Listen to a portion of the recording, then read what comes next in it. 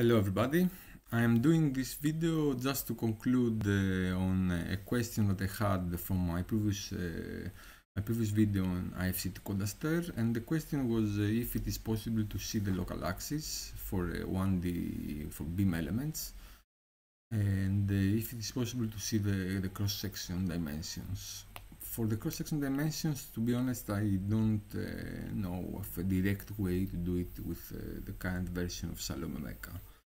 Uh, for the local axis, I'm going to show you two things. One, how to uh, configure uh, the orientation from the command file. And uh, two, how to visualize the local axis in uh, ParaView. The command that we use to assign properties to the 1D elements, I have here uh, drawn some 1D, one, one beam elements so we can have an example, a very simple example. Uh, the command that we use is AFFE_CARA_ELEM. For example, if uh, we want to assign a rectangular cross-section, we have to make a, a, reference to the y and the z local uh, axis of the element. So we have to know where these uh, are pointing so that uh, we assign the correct dimensions. If we click here, uh, we can see that there is uh, the orientation command. And uh, we I use there are some options here. If we click there are some different options. I use this option ANGL_VRIL.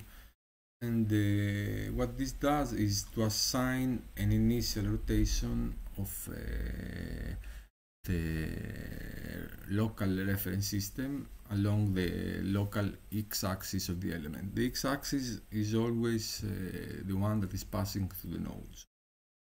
Of course, uh, by default, this is uh, uh zero. And uh, here I'm just leaving the default value for all the elements, except for this column, so the second uh, column that I have drawn, where I have a value of uh, minus 90 degrees and we will see how this uh, will uh, change uh, the result. Now if we want to, uh, I have here, this is a very simple command file and uh, if we want to visualize this information in ParaView we have to click here, input concept is the command.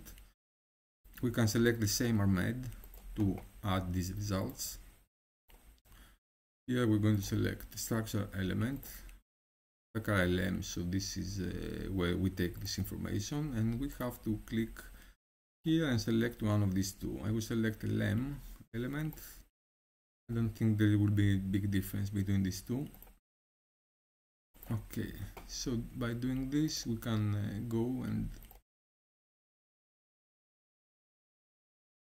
run the analysis and then we go to ParaView to see the results.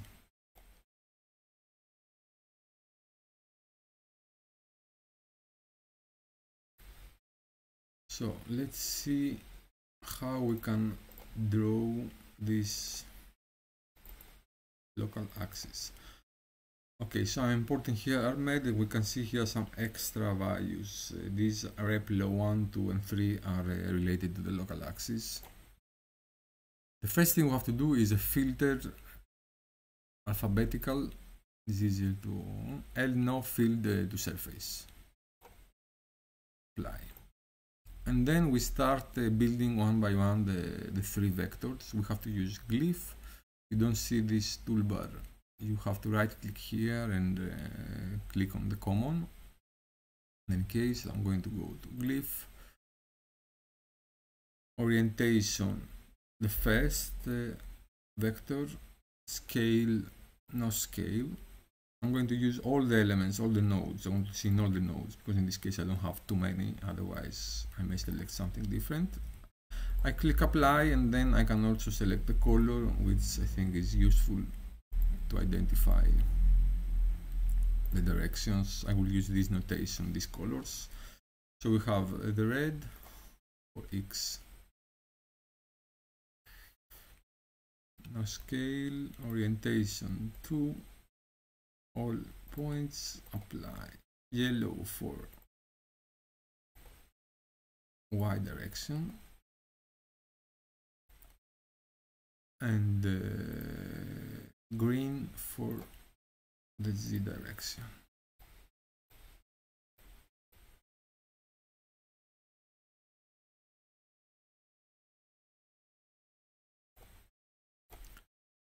Okay and these are the the local axes.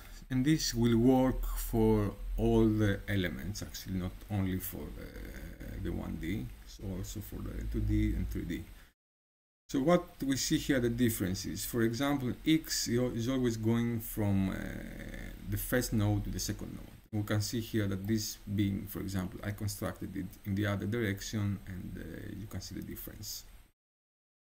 In order to understand how is the default uh, direction, the default, let's say, orientation of uh, the local axis when we don't have any input value, we can think of uh, three transformations of uh, an element so as to have uh, in, to have it in the final configuration. We can think that every element is constructed in this uh, orientation, so it has a local axis initially that is exactly the same as the global axis, then it has uh, three rotations. It is subjected to three rotations. Rotation always with respect to its uh, local axis. So a, rotation with respect to its z direction, if it is uh, needed. A rotation with respect to its uh, y direction. A rotation with respect to its uh, x direction. And this last value is the rotation that we input. The other two are dictated by its uh, geometry. Like this, we can understand uh, how will be the final uh, default value of the local axis if we don't uh, input any value, or uh, we can understand how inputting this value will change it. The, just one thing I want to show is that for these two columns, you see that uh, what is uh, the difference.